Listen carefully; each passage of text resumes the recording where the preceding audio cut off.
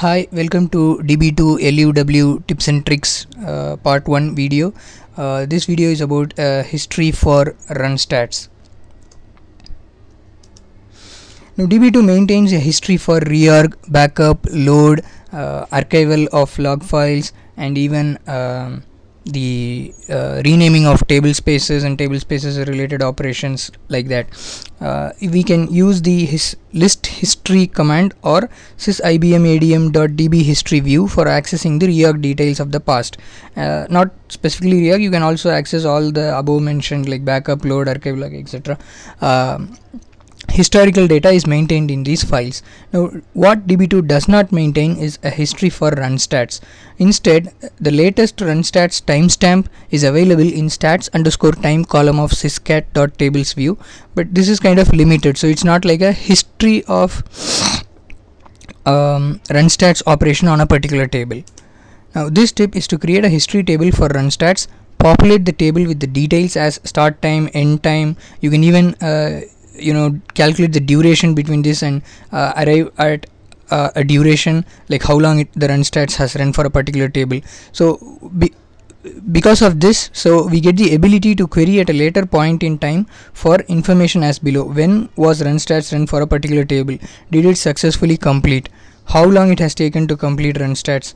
Track for a given table the time taken for completing run stats over a period of time table with highest run stats execution time. So you can uh, segregate your run stats execution as per uh, you know you can group the tables which will take more time to execute. You can uh, you can execute them in a uh, when you have a, a, larger maintenance window and you can uh, run uh, run stats for those tables which are taking less less amount of time.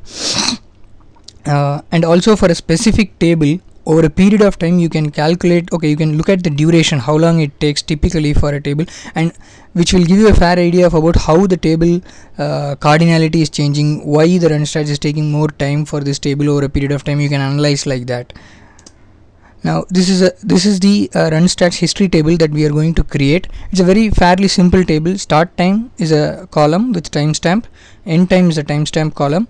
And operation is a actually uh, here we are only doing run stats. You can easily extend the uh, script that i'm going to show you to incorporate reorg also or even load also for the same same matter. Like you can do this uh, actually. Uh, schema name and table name uh, status status will be like S for success and F for failure like that whether the run stats was uh, successful or not. And there is a duration. Uh, duration is a uh, generated always column. You need not do anything. It is like end time minus start time formula. Uh, most probably the end time will be either equal to or greater than the start time depending upon your table size. Okay let's uh, go quickly to the uh, code. So what you need uh, for this is uh, first we need the run stats file that is going to be executed. So this is something like a very simple file which you can create manually or also you can uh, write query the catalog tables and generate this file. So db2 run stats on table db2 inst1.t underscore log is a table on which we need to run the run stats. So like this we just prepare a script. Uh, right now it has one two three four five six tables here. I'm having six tables and uh, if you uh, okay I'll connect to the database db2 connect to test. Test is my uh, database. Db2 list tables. Now here I have one two three four five files only. So sorry five tables only. Table A table B table C T underscore GOL T underscore LOG but I have prepared run stats with six where this t underscore gwol is not at all a uh, existing table. So if some error comes the error will be handled. So just to show that i'm having this invalid record here. And the next file that we need is mytime.sh so instead of executing the the uh, run stats directly uh, through that uh, run stats file which I showed you you have to execute the uh, shell script here. This is a fairly simple shell script. It uh, connects to the test database. It looks for the run stats.out file that I showed you. It goes in a while loop reading one line at a time with status uh, the status is the run stats uh, completion status F for failure and if you see here the status is set as yes on successful execution of the run stats. And there is a start time that is set before the execution. There is an end time that is uh, set after the execution. And the dollar line this uh, talks about this is the one where um, uh, this is the actual execution happens. So this dollar line corresponds to every single line inside this loop. So it will come one line at a time which will be like one uh, run stats command at a time. And that is getting inputted to the awk uh, script here. And uh, it will generate a uh, perf underscore run stats dot out. So what this file uh, contains I, I'll show to you shortly. So let's go and uh, uh, run the script and see. So first we'll I'll disconnect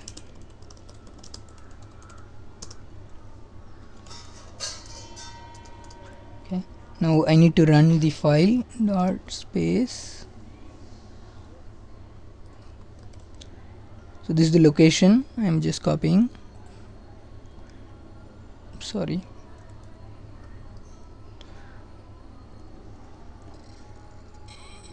Okay. Slash home slash documents db2 sqls my time dot sh so once I execute this file we'll see. So it has connected it has run the run stats and here you can see the table does not exist error is shown and because of that the status remains F here. And the other uh, commands are run successfully and it should have generated now uh, the runstats.out file. So we'll look at the contents of the runstats.out file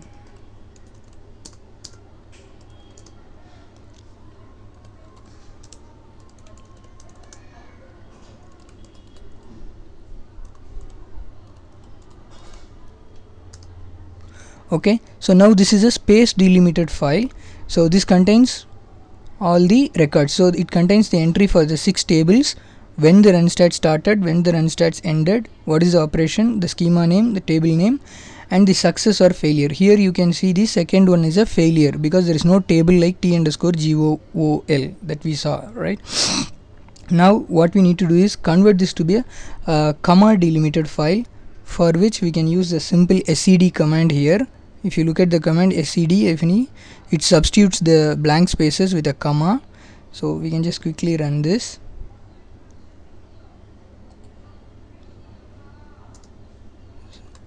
So it would have generated a del file for us.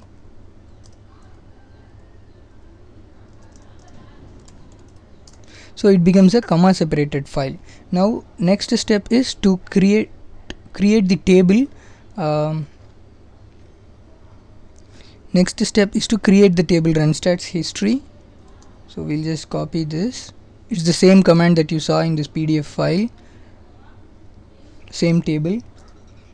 So db2 connect to test.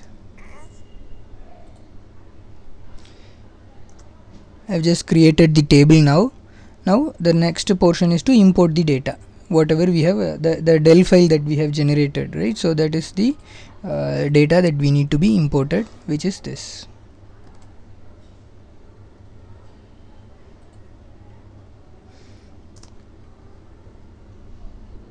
So you can ignore the warnings here because it, it is more like a timestamp value warning. So if you look at here it is up to the second only hour minute second mark. So the warning is like for the microseconds because the timestamp is like dot triple zero triple zero dot, dot followed by six zeros will be coming. So that is the warning message. We can skip that and we can look at the uh, records now. And this is a fairly simple query. I'm just querying the run stats underscore history table for all the columns. So it, here it will clearly say uh, okay so this is my start time. This is my end time. This is the operation that I performed. This is the schema name. This is the table name t underscore log. And the status is success and it has taken 0 days 0 hours 0 minutes 0 seconds. Like sub second response time was there on this run stats. Here actually these are all just sample data so you will not really see that much. Here alone okay so here we are seeing one table table a which has taken one second of response time for the run stats command. Uh, so in actual data you will be able to see you know the real uh, stuff going on there. So for that what I have done is just I have mimicked this. So I'm just inserting few sample values here into the uh, run stats history table directly. Okay. Now I'll run the same query again the duration uh, query. So here you can see see it, it is listing as if the timestamp values were uh, you know appropriate because I, I just inserted them in an appropriate manner. I just modified it manually. So 1 minute and 1 second 1 hour 1 minute and 10 second 15 minutes and 30 seconds 1 day 1 hour 25 minutes and 40 seconds. So it's pretty much flexible. Um, these are all just straightforward simple uh, uh, timestamp queries. Like uh, and you can perform all the the stuff that I was talking here. Like uh, when run stats was run for a particular all the questions that are listed here can be answered uh, once you have this table set up with such kind of data. Thank you for watching um, uh, db2 luw tips and tricks video. Uh, please visit my channel db2 luw academy frequently to uh, uh, I'll be keep uploading uh, more tips and tricks and also some some more videos. Thank you thank you for watching